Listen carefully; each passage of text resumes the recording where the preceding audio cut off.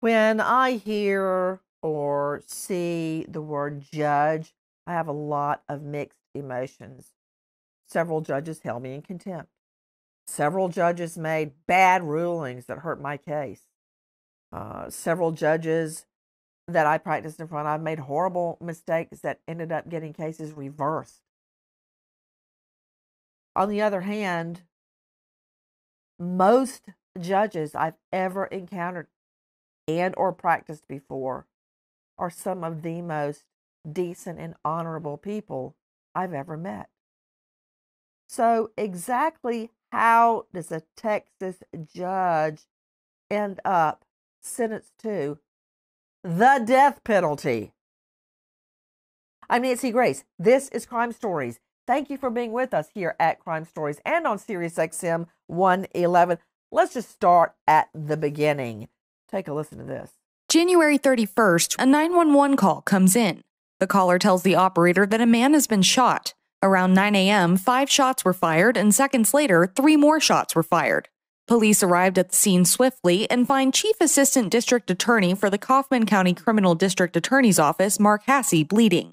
No traces were left at the crime scene, not even bullet casings. The only evidence eyewitnesses. One witness said the shooter was completely dressed in black and after firing the shots, jumped into the back seat of a white sedan and disappeared. Another witness, according to Medium.com, said he heard Hasse shouting loudly, No, no, I'm sorry. Hasse dies. Wow. Okay. I'm trying to drink in everything that I just heard. Uh, a prosecutor in the Kaufman County District Attorney's Office, Mark Hasse, is dead. No traces left behind as to who the perp could be. The shooter, observed by a witness, clad totally in black, which says this was premeditated, and the perp dressed up like a ninja, and that Hasse pled for his life. That's what I know right now. Joining me in all star panel, but first I want to go to special guest Hayden Sparks joining us senior reporter for The Texan, and you can find Hayden at thetexan.news. Hayden, thank you for being with us. Let's just start with Hasse's death. What can you tell me about it? The murders of Mark, Mike, and Cynthia will likely haunt Texas for generations to come. I think you highlighted one of the most disturbing aspects of this case, and that is that he pled for his life before he died. And he was murdered for merely doing his job to uphold the law in this community right outside the Dallas Metroplex. This type of violence is something that one would expect in a war torn country, not a peaceful community. I know this much. Uh, let me go to renowned medical examiner and pathologist, former detective with the Lexington County Sheriff's Department, thrust to the forefront of our media generation during the Alex Murdaugh double homicide case, author of Money, Mischief, and Murder, the Murdaugh saga, the rest of the story. I'm referring, of course, to Dr. Michelle DuPre. You can find her at dmichelledupreemd.com. I know this, Dr. DuPre. I know that ballistics show that the victim, Mark Hasse, was shot with an assault rifle. Wow. What can you tell me about assault rifles and what damage would that do to a, a human body? Yes, Nancy, this is it's atrocious actually. Assault rifles do a lot of damage because they're high velocity. And so it will literally leave holes, gaping holes in the body. And I haven't seen the autopsy report, but from what I have seen, he was shot multiple times with this. Shot multiple times with an assault rifle. To Alan Bennett joining me, a former district attorney, now civil attorney at Gunter Bennett and Anthus, GBAfirm.com. Alan, thank you for being with us. What is your experience with assault rifles and how are they different from, let's just say, a 22 or a 38? Well, and you're absolutely correct, Nancy. An assault rifle is generally thought of as its name implies. It is a rifle used to commit assaults. Uh, typical examples would be an AR 15 carried by our U.S. military, an AK 47 uh, carried by Soviet or former Soviet bloc countries. They are generally regarded as military weapons used by members of a standing army, large capacity magazines, uh, extremely high velocity bullets, which do tremendous damage to the human body, uh, primarily designed to be used on a battlefield. But his defense was transferred intent because who his defendant murdered was a little schoolboy named Moonbeam, his nickname, played in the school band and was going home to going home to his mom after school, and the defendants meant to shoot another drug dealer, but they shot this little kid instead, who in the end was crawling toward his home, calling out for his mother. And I saw that weapon and held it in court. It was one of the ugliest things I've ever seen. Looked like a machine gun, and it looked like it had been spray painted matte black. That's what an assault rifle is like. It's it's pure evil. Um, and that's what was used. Multiple rounds pumped into these victims. And when I say victims, uh, that's right. The first victim was prosecutor Mark Hasse. And back to you again, Alan Bennett. When Yes, you prosecuted as I, I don't know if you went through this, but I did. You get threats, you get death threats. Uh, I had my tire slashed, my front door kicked in, my mailbox knocked over, blah, blah, blah. But I think in the back of my mind, I never really thought that anyone was going to kill me. I, I don't know why I thought that. After so many attacks on my car and my, my, my house and threats, but I never really thought it would happen. What about you? I'm in that same boat, Nancy. Um, and I think part of that is just our human conditioning to think, well, that's just so extreme. That is so rare. It's it's in that same mindset of thinking, well, that'll never happen to me. That that's something that only happens to other people. You only read about the news. Um, and then, unfortunately, from time to time, we wake up one day and realize that we are those other people in the news, and that it can happen to us. I think it's that false sense of security that we naturally assume just by the rarity of those actual instances. Well, another thing too, Karen Stark joining us, renowned therapist, psychologist, joining us out of Manhattan. You've seen her on TV, on radio as a trauma expert and consultant. She's at KarenStark.com. Karen, I think part of it is I don't know how you could live life at all if you were constantly afraid. Well, that's without a doubt, Nancy, because anything could happen to anyone, right? At any moment, you could cross the street. People always use that example and get hit by a car. But in this instance, you don't really anticipate that revenge would be carried out to this kind of an extreme. I mean, it's like pathological revenge. It just doesn't seem like something that could possibly happen to anyone. When I mentioned that Mark Hasse was the first victim, the story goes on. Take a listen.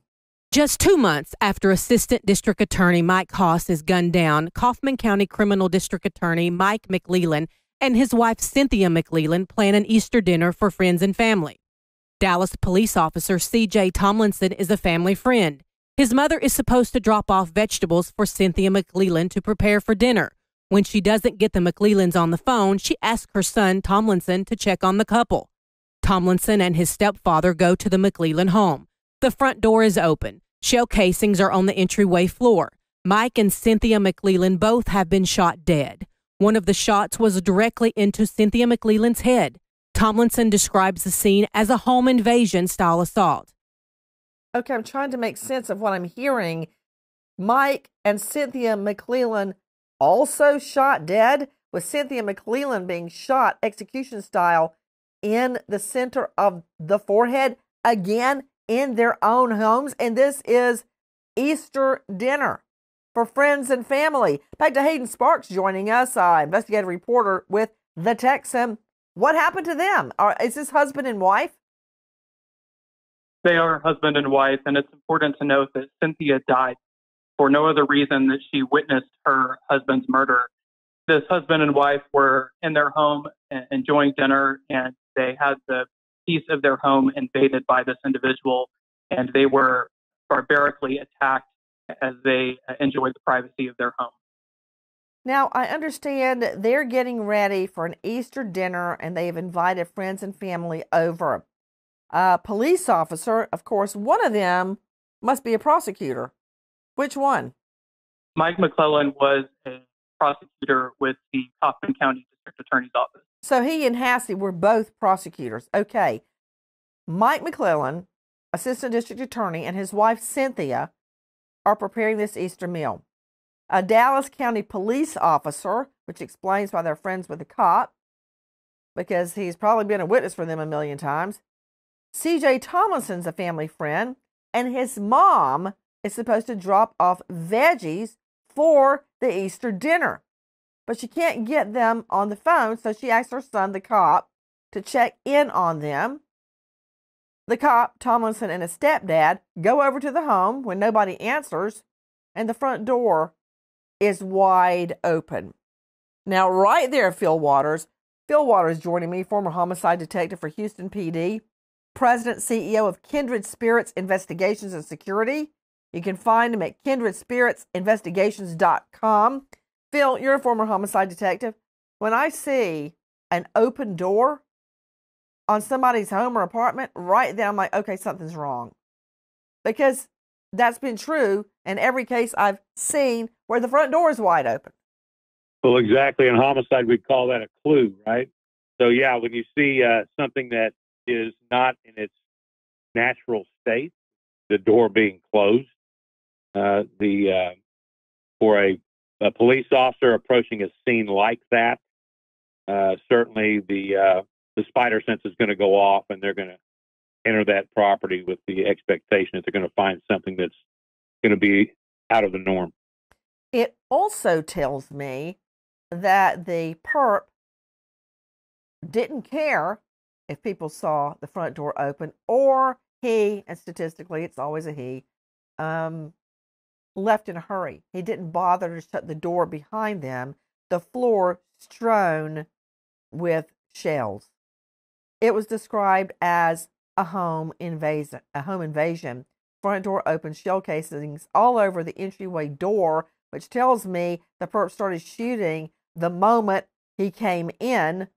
To you again, Dr. Michelle DuPre, the author of another book, Homicide Investigation Field guide. She literally wrote the book on homicide investigations. What does this tell you that one of the shots was directly into the forehead of the prosecutor's wife, Cynthia McLelland. I mean, Nancy, that's a statement. That is execution style, and I mean, obviously intentional. Um, so she was a target, just like her husband. Execution style. When you say execution style, Dr. DuPre, explain that. Interpret that for everyone. Well, basically, you know, there is something a lot of people call the T zone, which is in your forehead if you make a T straight down your forehead into your nose, where if a gunshot is in that area, it is most likely to be fatal. And usually um, there is a couple shots to the chest and one to the head um, in order to make sure that that person is actually dead. And so that would be execution style. Joining me right now is a special guest. And I want to start questioning Erleigh Wiley out of Texas as well, with a very narrow line of questioning. Erleigh Wiley, thank you for being with us. Well, thank you, Nancy. Erleigh, did you know these three victims, Mike McLelland, Cynthia McLelland, and Mark Hasse? Absolutely. Kaufman County is a small community. So, sure, everyone knows each other, particularly when you work at the courthouse together. You know, from your background experience, you get to know the players, you see them every day, and you work with them as a prosecutor. And then at the time, I was a judge. Do you still, are you still called Judge Wiley? I am. I think it's uh, you know, one of those we don't like titles in our country, but I retired from the bench when I became the elected district attorney because Mike wasn't an ADA; he was the elected Ah. prosecutor. I'm And glad you told me that because that is a very, very important distinction. Not an It is. assistant DA, the elected DA. Um, Yes, Judge. Wiley, I- I once a judge, always a judge. The other day, the other night, my daughter, who's so shy, is a football manager at her high school, and they had a banquet and I went to the banquet, of course. And at a distance, I saw someone. Uh, I thought I recognized him. And after the banquet, I went up to him, and it was a judge I had tried many, many cases before when I first became a prosecutor. And I naturally referred to him as judge. Yes, ma'am. Another thing that you mentioned is the, I, I guess for lack of a better word, camaraderie that you form with people in the courthouse the clerks, the judges, the court reporters, the prosecutors, even the defense attorneys in a weird hybrid way. Um, because you are really in the trenches and you are together in very, very difficult it's combat duty every day.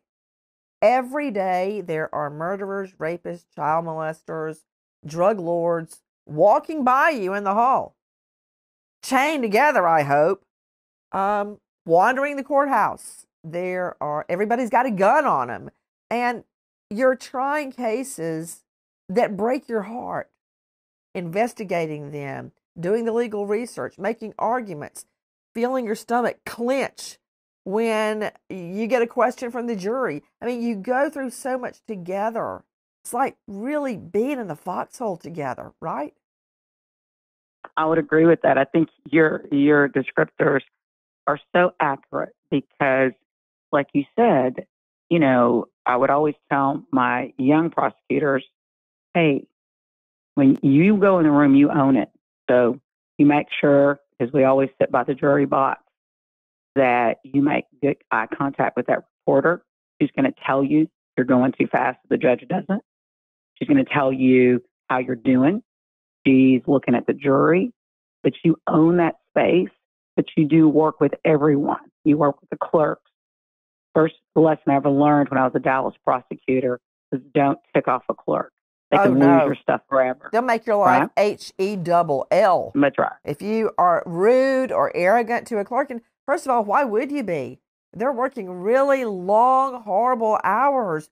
And I would say that, believe it or not, my best friends of all these years have been a defense attorney, female defense attorney, and a court reporter. We tried cases together for years. And of course, my investigator, who I was with all the time. Your investigator. Oh my gosh. Yeah. We couldn't do it without them. No, no way. I mean, the bond you have with these people. So you know these people, Mike, Cynthia McLelland, and Mark Hasse, right? Of course, we were uh, we, we had been entertained at the at the McLelland's house because he's elected. I was elected judge. He'd have a big Christmas party. Mark was in my office the night before in chambers because we were working late with our treatment court, and he came by, and so we all, of course, knew each other. It wasn't as casual because I was a judge. You keep a little bit of deference, but we still knew each other. And if you were there late, you'd walk each other out because me and my uh, coordinator that ran the after hours treatment court program were there and he was talking to her and he walked out went his way and I had a closer parking because I was a judge.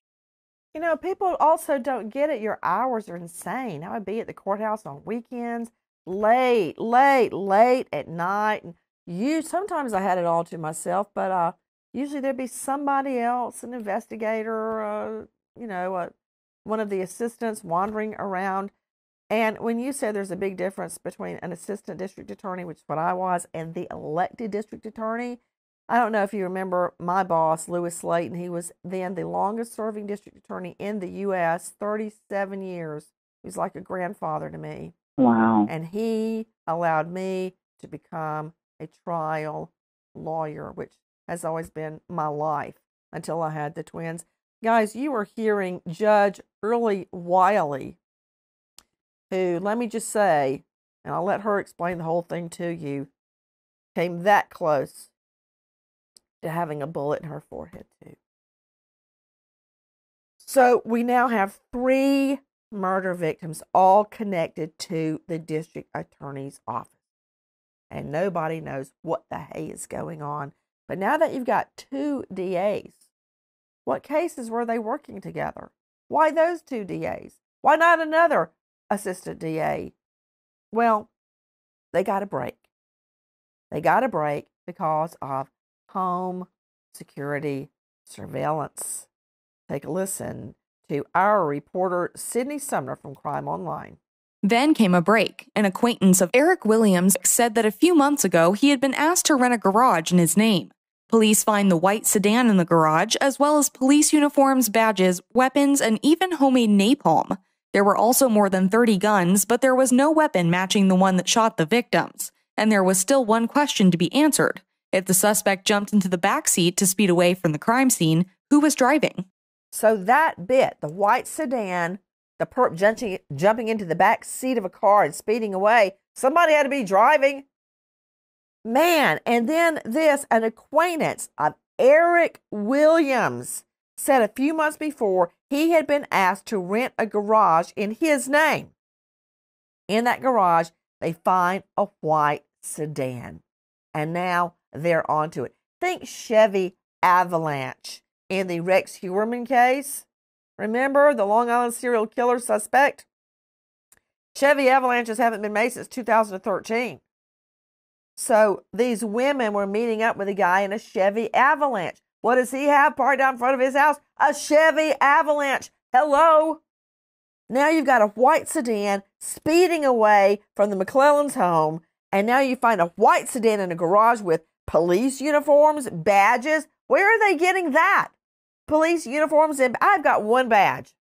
The badge I was given when I was sworn in as a district, an assistant district attorney police uniforms, badges, weapons, homemade napalm. Phil Waters, former homicide detective, Houston PD. Nobody should have badges, police uniforms, guns, and for Pete's sake, homemade napalm? What? Well, that's a different spin on this whole case, isn't it? This is, a, is an example of a guy that's crazy Phil Waters, why would anybody have homemade napalm? I haven't heard that since we talked about Vietnam. Yeah, exactly. I, I can't imagine other than this is a person, you know, the badges and so forth. I'm not, that doesn't surprise me. And some of the, I think he had body armor and some other uh, law enforcement related equipment in there. Dr. Michelle DuPre, what the heck is napalm? Explain in a nutshell. A nutshell. Um, napalm is um, a very powerful explosive.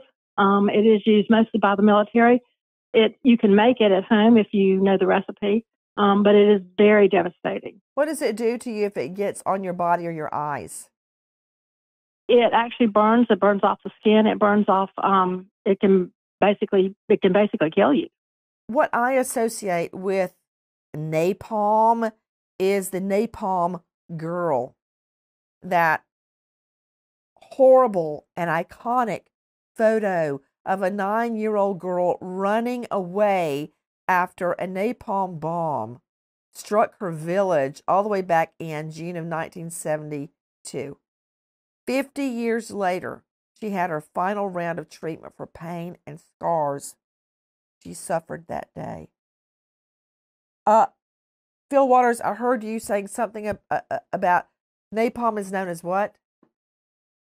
Jelly gasoline. Uh, it's either petrol or, or diesel. Uh, when the mixture uh, is put and applied, it uh, sticks to the skin. The purpose of it, the jelly part of it, is to stick to the skin and it burns all the way to the bone. So it's a it's a devastating. Uh, so who in the weapon. hay would have homemade napalm in a storage unit or a, a rented a rented spot. So Now we know a name Eric Williams. Who's that? Listen. Eric Williams seemed to be the all American boy. He grew up in Azle, Texas. He was a Boy Scout, played in a band, and graduated from Texas Christian University, where he was in the Reserves Officers Training Corps, ROTC. He met and married Kim. She was raised in Dallas. She did college coursework at the Southern Methodist University and at the University of Texas at Arlington. They were a couple for more than 15 years. Sounds like the All American Golden Boy, but then things went sideways. Listen. Eric Williams studied and passed the bar. He works as a lawyer for the Kaufman City Court Department and Justice of the Peace for Kaufman County. That is until he was caught on surveillance cameras stealing three computer monitors with a value around $600. His arrest takes place in his office. Public servant, he is charged with a felony, handcuffed, and marched out in front of his coworkers. Williams claims it's all a misunderstanding. He says he bypasses standard ordering protocol, but says the monitors were for office use, not personal. But police find one of the monitors stashed in his truck. Okay, wait, I'm not understanding what happened. Uh, Judge Erleigh Wiley joining us out of Texas and our author of an incredible book, Target on My Back, a prosecutor's terrifying tale of life on a hit list. Tell me about these monitors. There were computer monitors that were stored in an area at the courthouse that the Justice of the Peace worked at. And like the rest of us that work in any company or the government, when you want new equipment, you know, there's a whole process. I just don't go, oh, let me grab some of those and I'll take those home. And I don't do that in the, you know, after hours without getting whatever you would call it a requisition order, uh, something in writing. I mean, this is government county property and our tax dollars. So the value uh, is more than 600. It was over 1500 because it was a third degree felony at the time in Texas. And so he took the monitors at night. The irony was there had been missing items before. And then, then sheriff set up monitors, cameras, so that they could see who was taking the items. Unfortunately, I believe they thought it was the cleaning crew that was taking it after hours. And what do they find? The IT, the morning when they, right after they had placed the cameras, they actually find out that the JP with, there's a picture that a lot of people have seen on camera of him, a grainy picture walking around after hours secreting items where he didn't know the new cameras were posted. And so he was caught on video stealing county equipment after hours. And yet he said, because when you're someone like the murderer, you think you can do no wrong. So you want computers, you just take them. If you are a JP, you can take what you want, set it up the way you want. And if somebody accuses you of something, don't believe your lying eyes. That was who he was. Justice of the peace. And to think this is uh, all about three computer monitors. Well, how do these victims, Mark Hasse, Cynthia McLelland, Mike McLelland, fit into Eric Williams swiping monitors? And when she says JP, Justice of the Peace, you'd think, right? Why would right. he steal computer monitors? But that's not the end of the story. Listen. The prosecutor in Williams' case, Assistant District Attorney Mark Haas, offers him a deal plead guilty to misdemeanor and abuse of office. Williams would have to resign as Justice of the Peace, but he would be allowed to keep his law license. Williams counters with an offer to make restitution but not admit guilt. The district attorney's office refuses. If Williams is found guilty of a felony, he loses his law license, his job, benefits, everything. Eric Williams decides to fight the charges, but before his trial starts, more charges are brought against Williams for supplies he bought and billed to the law library he manages. None of the supplies and equipment he bought were found in the office. The jury deliberates four hours in Williams' theft trial and delivers a guilty verdict. Instead of being sentenced to jail, Williams is placed on two years probation. So that is how the whole thing started. Hayden Sparks, Hayden Sparks is joining me, senior investigative reporter for The Texan. So this all starts over three computer monitors that he swipes or he's caught swiping. Maybe he swiped other stuff, but he gets prosecuted for stealing them. Um, it, he even takes it to a jury trial. He's put on probation. Does he lose his position, Hayden Sparks? I believe he was suspended, and it is astonishing that all of this started with something as trivial as computer monitors.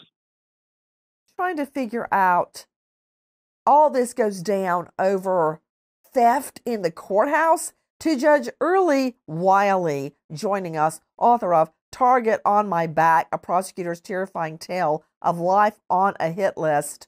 So tell me, he insisted on taking it to a jury trial. Did he lose his position as Justice of the Peace? He did. The uh, Texas Judicial Conduct Commission, I believe, met um, quickly once there was a conviction, because obviously he appealed that conviction. And there's a timeline there that we would have to go back and recall because shortly after that appeal, I think it's when the murder started, but that's not what you specifically asked me. You specifically asked me, did the commission suspend him? Yes. And they removed him. Oh, so it's yes. not just and, over getting the probation. He loses right. Karen Starr. You're the shrink. Uh, he loses the trappings of being a judge. That's a lot. Mm-hmm. Well, but Nancy, if you are someone who's psychopath and someone does that to you, something like that happens to you, and you lose your identity, you you you lose everything that all the perks that come along with that. You are going to be insanely angry and want revenge. That's the kind of thing that happens to a person who is not normal, who doesn't care about the consequences of his actions. Trying to, um, let me ask the judge, Judge Erleigh Wiley, it's not just getting probation, it's not just the cost of the trial, it's losing your position, your position as JP, as judge, respected in the community, special seats, preferential treatment that's losing your identity for a lot of judges or prosecutors. Nancy, you, you're spot on. And I think the doctor's right. For a person that has the mindset that they can, that they're ever powerful and whatever they do, they they can do whatever they want to do. That's what he thought. Um, for those that worked with Eric, you didn't always see that side of him because you got to remember he was part of us. This is from the inside, but there's that other piece. Like you said, just computer equipment? No. Losing his position and the fact that his colleagues are the ones that said, you know, the community's just not going to let an elected official take this equipment. No way. No way. You know how. Uh, you're up on a pedestal as a judge. And when you right. do something wrong, that's the price of being a judge or a prosecutor. Right. People look at you, and if you screw up, oh, you become, you become the scapegoat. You become the trophy. You will not get away with it once people are onto you because you're held to a higher standard, and you should be. You're passing yes, judgment. You're judging other people. So you darn well better be above reproach. So, how are these people connected? Listen to Nicole Parton in our cut six. Mark Hasse and Mike McLelland acted as prosecutors in Eric Williams' case, which put him on police radar. When officers checked his internet search history, they found that Williams had been actively searching for information on Mark Hasse and Mike McLelland.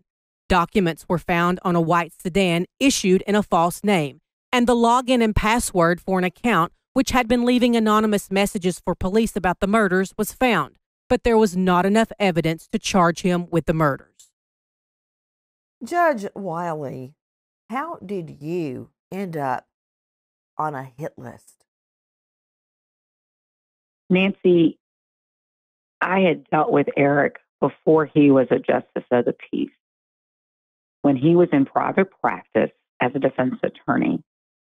Eric did county work doing child protective services attorney ad litem, representing children. Had all the trappings of this guy that was great, that did the work for the children. But what we found out later, and I was asked by the administrative judge to check into an issue, was that there was some overbilling that the auditor, when they cross checked the billing, that was being turned in by some attorney that it didn't add up.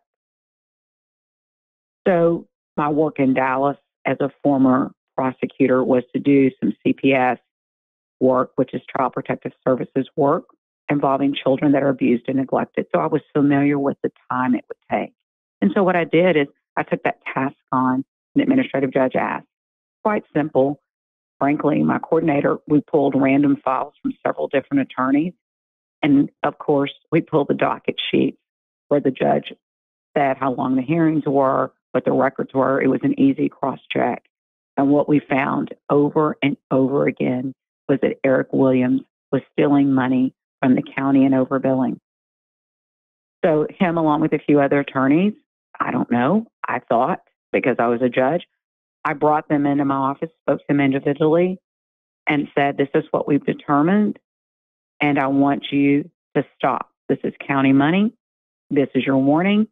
I'm not referring this to the DA's office, but this is something that I can see and I'm not going to have it.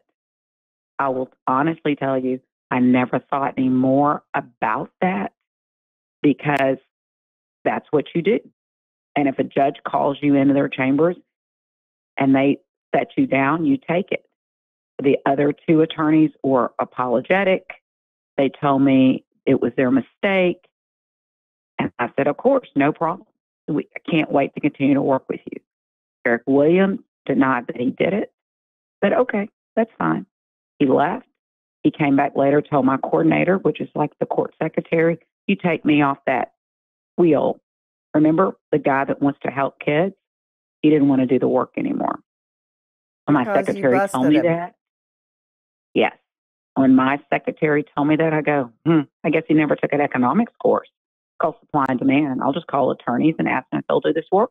Yeah, I mean, in every thing. courtroom, the court uh, where you're having plea and arraignments, there are, are are pews full of lawyers who want appointed right. cases where right. a person doesn't have a lawyer and the public defender's office is inundated, and you find a, a list of good right. lawyers that can take appointed cases for people that don't have lawyers. So yeah, if one falls out, there's one, uh, there's ten in line for that appointed case. But how did you find Ma'am. out you were actually on a hit list for murder? I found out because the special prosecutor in the case, once the case began, our office recused because then I was the elected DA. I um, was told by him, he came into my office, uh, Bill Wirskye, one of the special prosecutors, and said to me to sit down. He wanted to tell me something. And they were preparing the case. By this time, Kim Williams had become a witness for the state. And she shared with them that it was Eric's opinion, and she shared that.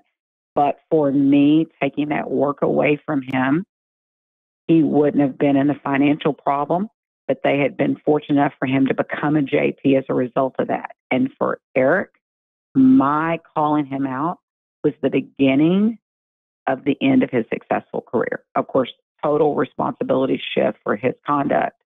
And then the JP business happened with the computer theft.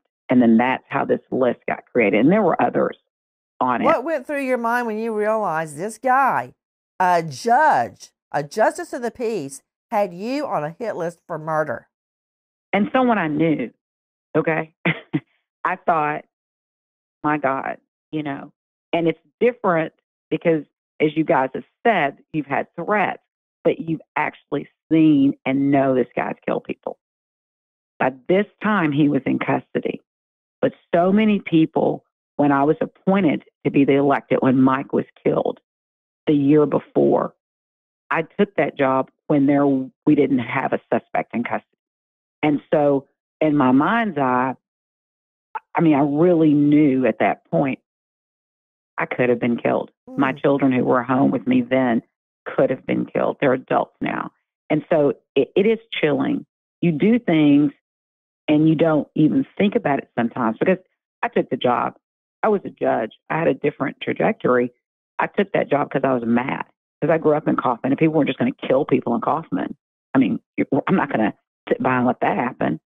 So I just thought, wow. You know, another really thing, Judge, that gives me real insight to this Judge Eric Williams' mind is that once he's finally convicted on these murders, he's filed so many appeals.